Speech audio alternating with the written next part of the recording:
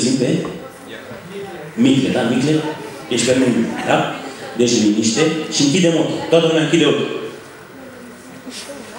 Micle e, e ok. Și vă gândiți unde erați atunci când mi-a dat această stare extraordinară. Dar eu să încep să număr.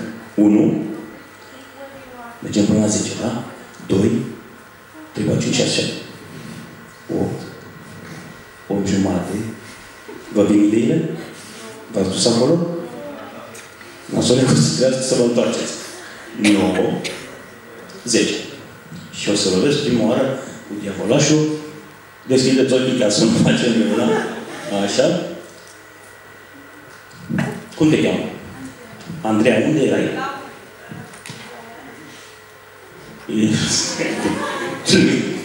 nu vreau să știu unde erai. Deci, Andreea, erai de ziua ta. Cu prietenul tău. Un lucru extraordinar. Acolo era încredere, era bucurie. Ce mai era? Hmm? Distracție. Trei puncte foarte puternice. Diavolașul la tine și ai puterea.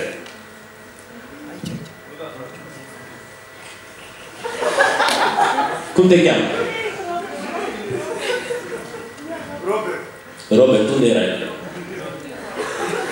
Erai cu el? Erai cu el? În visul tău erai?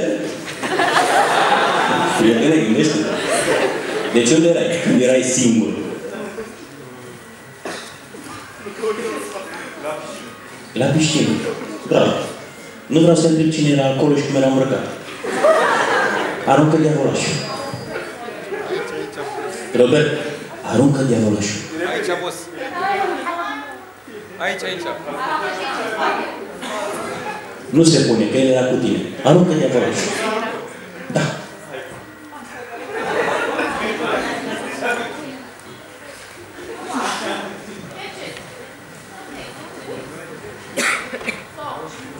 Who's there?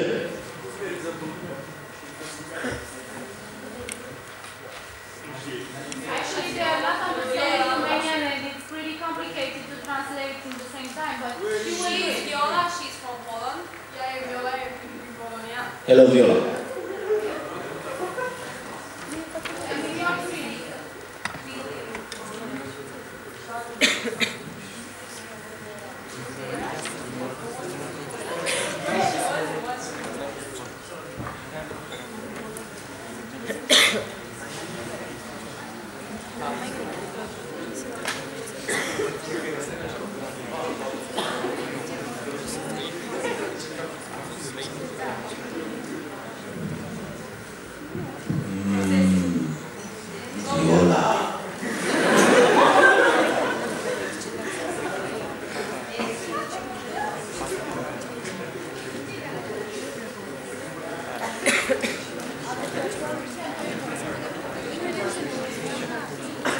Ce fac niște olteni când văd o poloneză blondă?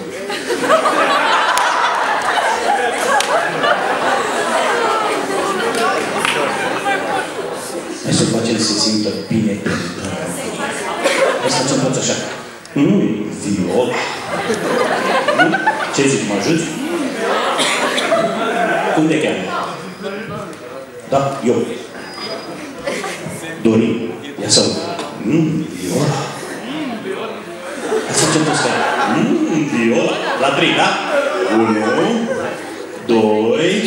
3. Welcome in Romania, Viola. Ok, avem deja o răspuns. Spune deci, deci, ea era cu mama ei, își rândeau câinele și îl și spălau și atunci când s-a scuturat, sau... Deci acela aici Și atunci când? Când s-a scuturat, s-a copaie, le-a profit amândouă și acesta a fost un moment de bucurie. Sau Viola, fiind happy when she works. No, they were, they were not working, they were having a special family moment together. Mm. No, For me, washing the dog is work. I had big dogs. How many of you are understanding English on this uh, group? Așa.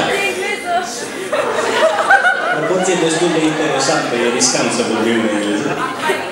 O să plece toți la cafea. Eu sunt convins că știu mai mult, dar nu vor să știi. Bun. Unde e diavolașul? Viola.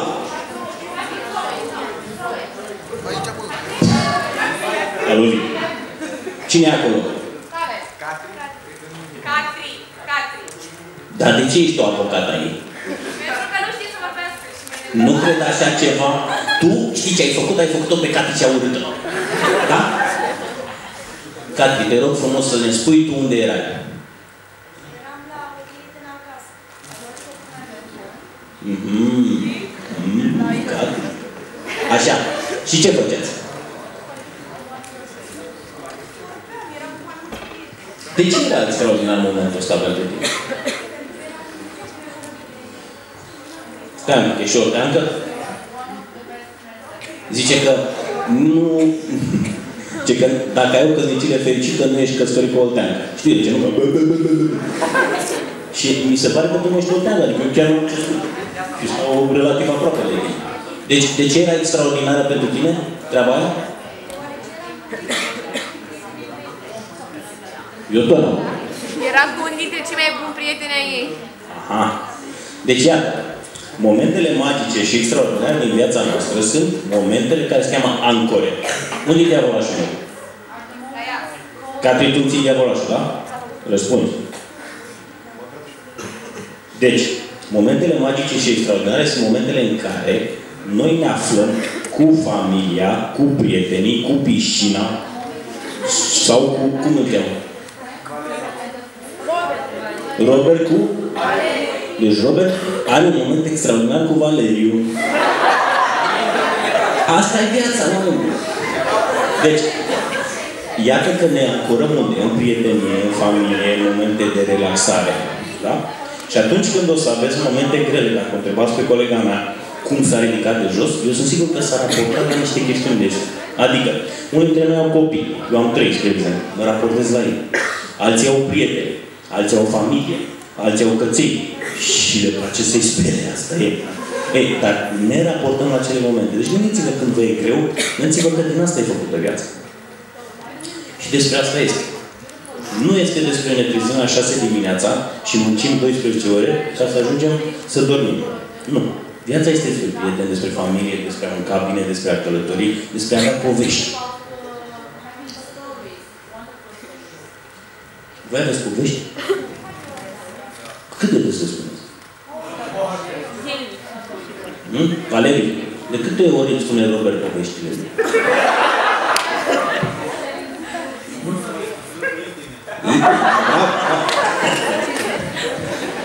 Sunt studii.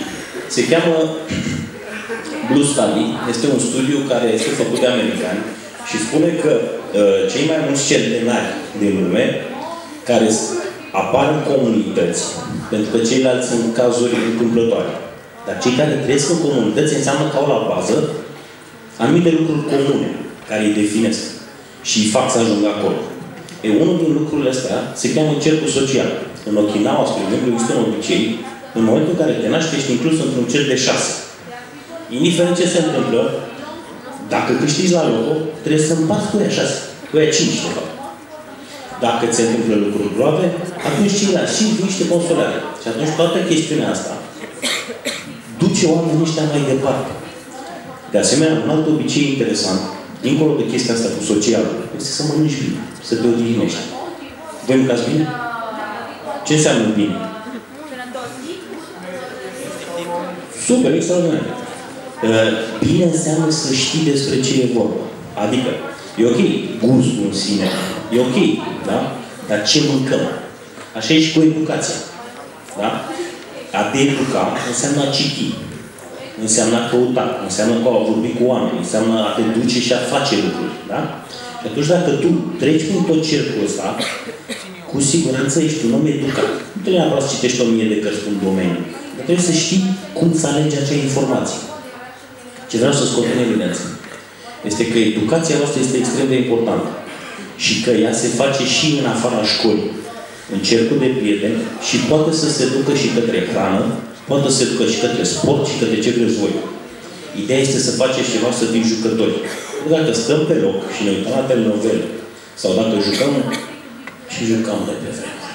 Ăla cu shooter-ul ăla, cum se numea? Și acum cred că este. Counter-Strike, da. Dacă stai toată ziua cu Counter-Strike, nu știu cât de evolutiv ești tu în fața ta peste 3 ani de zile. Și hai să vă spun un mare avantaj pe care voi l-aveți. Ce vârstă aveți? Cine are aici 17 ani? Cine are 15? Cine are 19? Dar unde să faci? Unde să faci? 19 years. Ok, ce vreau să scot în evidență? Unii dintre voi sunt atât de fericiți încât mai au 3-4 ani de liceu în față și 4 ani de facultate.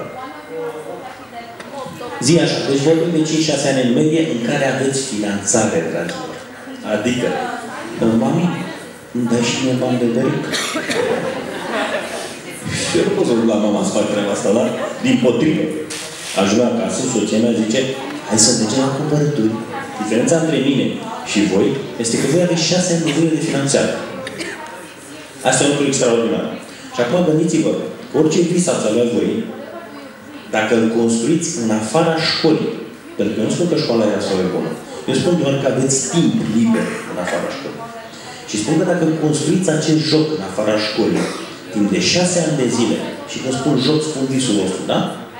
Vreau să fiu doctor, domnule. Dacă vă duceți și faceți voluntariat șase luni undeva, dacă vă duceți și lucrați uh, într-o policlinică, s-ar putea să vă dați seama că visul vostru de a deveni doctor nu e la care vă trebuie vouă. Și oare cum o să vă treziți peste șase ani de zile de școală când o să înțelegeți că de fapt nu era visul vostru? Deci provocarea pe care o arunc este aceea de a începe acest voluntariat tocmai pentru a înțelege dacă lucrurile sunt ok pentru voi, alea de peste șase ani de zile. Mai mult de atât, dacă vrem să vorbim despre bani, e foarte simplu. Hai să vă spun cum ați putea să vă faceți... E cineva care vrea să facă un restaurant când o să fie mare așa. Super. Iuh. Dar voi gândiți băieți? Adică în afară de cartofi prăjiți. Sarmale. Sau nu? Bravo. Și colic. Bravo. Super. Te respect. Deci, un exemplu despre cum ați putea să aveți un restaurant peste șase ani de zile fără să investiți un leu. Vreți să știți? Cine vrea să știe? Uh, Băiețelul de acolo să vă taie chitanțe, 100 de lei pentru prima. Da? Idee. Am glumit. Uh, hai să vă zic. Să presupune că aveți o mâncare preferată. Ce mâncare preferată aveți voi? Tot prăjit. Ok. Asta. Bravo. Altcineva. Și mai mă gândesc. Perfect. Super. Shrimps. Ok, shrimps. Deci, ăștia sunt mâncările voastre preferate. Dacă le gătiți bine, pentru că asta e o treabă interesantă, într-un restaurant, ghiciți ce trebuie să gătiți bine, da? Dacă le gătiți bine, vă puteți invita niște prieteni la masă. Puneți un eveniment pe Facebook și spuneți eu sâmbătă am să gătesc shrimps. Cartofi prăjiți, pizza, pasta, whatever, da? Calculați-vă bugetul. Adică, spre exemplu, o să presupun că pentru patru oameni trebuie să luați o porție de pastă. Da? O cutie de pastă. Un tub de nu știu ce barila. Da? Uh, niște sălămiori, niște... Voi știți mai bine rețeta voastră. Calculați-vă. Și o să fie, nu știu, 30 de lei. Și puneți acolo în felul următor. Donație minimă, dacă sunteți patru, împărțirea 30 de lei, cât e? 7,1 la la da? Și puneți donație minimă 8 lei. Ca să nu ieșiți în pierdere. Asta o să le, să le dea celor care vor să se înscrie la event, ideea că domnul ăsta l-a costat niște bani și ok, cam atât are să la masă asta, 8 lei pentru el, da? Dacă vreau să mă duc acolo, trebuie să pun 8 lei într-un bol undeva. E simplu. Da? Până acum e ușor? Hmm? E simplu, nu? Ok. Hai să perpetuăm chestia asta. Și mergem peste o săptămână. În săptămâna asta ați luat feedback-ul. Și băieții ăștia care au venit la masă, zic, băi, ok, e super mișto, le-am plăcut pastele. Aș fi vrut poate și, nu știu, desert. Super. Postez un alt eveniment pentru sâmbătă următoare și spun, o să fac paste, de data asta o să le fac altfel. Și o să le fac uh, cu nu știu ce. Uh, m-am gândit eu că o să fie mai bine. Gândiți-vă cât de crocant o să fie uh, Atunci când se bala la cuptor și o să trăsarea și parmezan peste. Și o să fac și un desen. Ce am făcut? Am creat eventul, le-am făcut uh, papilele să transpire și e posibil să am în loc de 4, 6. Și atunci am să zic, mami, dai voie să gătesc un pic, pentru că data trecută ne-am uh, ascuns în bucătărie, dar am să fie 6 și trebuie să mergem în living. Am mers să zic că da, bineînțeles, că te vede și te are sub ochi, decât să pleci noaptea prin cluburi pe acapă. Nu așa. E, peste încă o săptămână, o să ziceți, vreau să gătesc alte paste, sau ciorbă de burtă, sau nu știu ce. De data asta o să fiți un pic mai inteligent și o să faceți și un filmuleț. Poate e filmul vostru și reușiți să faceți ceva culori vii, poate nu e filmul vostru, nu promutați de pe Tasty, de la Jamie Oliver sau orice, poate vrea, da? Puneți acolo ceva inspirațional, care să le atragă atenția. E ușor până acum? Sunt trei săptămâni deja, da? Mergi un pic mai departe. Și să fiți atenți, știți ce asta? Antreprenoriat, deja. Pentru că deja ați început să vă calculați costurile, să, să fiți pe profit, aveți deja niște clienți, e ce ușor deveniți antreprenori. Da?